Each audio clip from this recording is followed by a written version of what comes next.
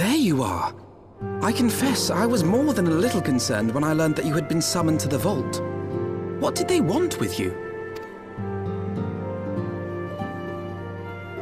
Well, well. A formal apology and an admonishment of those responsible. I see my fears were wholly misplaced. By the gods! The Archbishop freely admits to consorting with Ascians.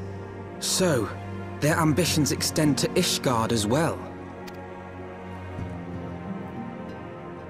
We will have new primals to contend with ere long, of that you may be certain. Tis but a matter of time. Yet shorn of the support of our missing allies, what can we realistically hope to achieve? In the midst of all the excitement, I completely forgot to tell you. When I was asking around about the Scions, I heard the most awful rumor. General Raubahn is to be executed for crimes against the Sultanate! If the Flame General dies, we will lose a staunch ally, and the one man capable of holding the Sultana's assassins to account. Lord Haurchefant was wise to counsel restraint, but this business will brook no delay. We cannot permit this execution to take place. We must save Raubahn.